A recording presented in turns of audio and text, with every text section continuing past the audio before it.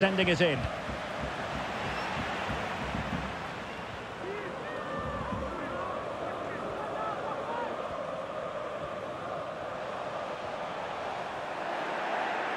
Moving into the advanced position, but quick thinking defensively. Well, that's a foul, and it sets up a free kick in a dangerous position.